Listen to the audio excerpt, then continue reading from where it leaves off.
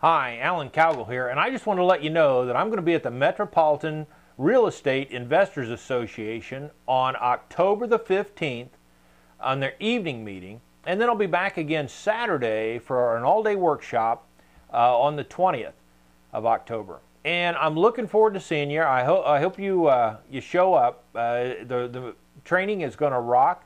Uh, minute for minute, I deliver a ton of training and uh, let me tell you why you ought to attend. Number one is I'm going to show you how to easily, easily fund your deals. In fact, my topic is private lending. And if you don't know what that is, that's fine because that's why I'm coming to the event to teach about it. And if you do know what it is, hey, you might learn something uh, that you didn't know. So you need to be there. On private lending, um, you know, it's hot in a good market. Can you imagine what it's like in this market? I'm going to show you also how to do it legally. And I notice that there's other people out there teaching uh, private lending, but but they don't get into the legal aspects like I do. And uh, I've been in this business since 1995. I've had private lenders since 1997. Do you think you can learn a little bit? Uh, you know, you sure will. And also, I'm going to talk, talk to you about how to professionally ask private lenders for money.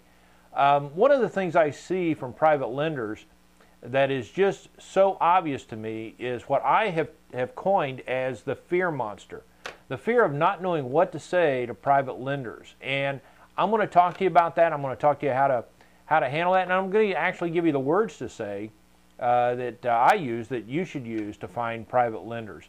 And then I'm also going to uh, share with you the tools that I use to successfully find private money. Well, I'm looking forward to the event. It's October 15th for the evening meeting.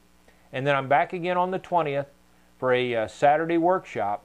And you need to be at both events uh, because I cover different information at, at, each event. In fact, I can I can teach this uh, this stuff for a week. So uh, be at the event, and uh, it's going to rock. And I'm looking forward to seeing you.